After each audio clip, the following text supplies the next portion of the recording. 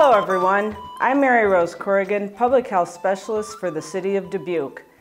On behalf of the Dubuque County Public Health Emergency Management Team, I'd like to provide you with the March 17, 2020 COVID-19 update.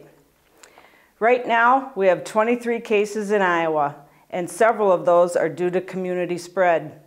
That's why we're getting all the social distancing recommendations and rules put out. Restaurants and bars are closed, so except for carryout, that's the only reason they're open. Call ahead so your food is ready for pickup when you get there. Other places affected include fitness centers, theaters, the casinos, gathering situations such as sporting events, religious and church gatherings, conventions, and fundraisers. Are you starting to get the message? In other words, stay at home. Limit reasons for being in public facilities. Groceries and food, food supplies, or pharmacy for medicine. Think ahead, call your pharmacist before you're coming in or have it delivered. Of course, if you must see your medical provider, phone ahead if you're concerned about going, especially if you're just there for a routine appointment.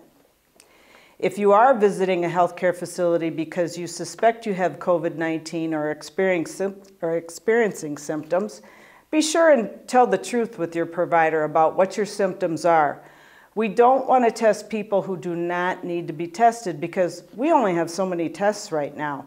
So they need to go to the people with real risk factors for COVID-19. Call your healthcare provider and they can help you sort through that. If it's not essential, stay at home.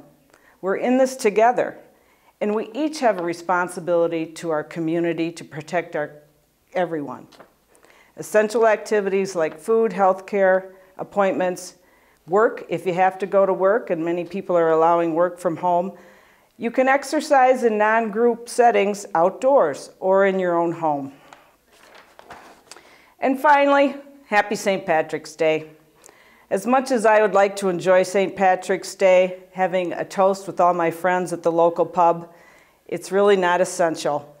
Raise a toast in your own home and celebrate that way. So may the road rise up to meet you. May the wind be always at your back. May the sun shine warm upon your face. The rain fall soft upon your fields. And until we meet again, be safe and do what you can to help prevent the spread of COVID-19.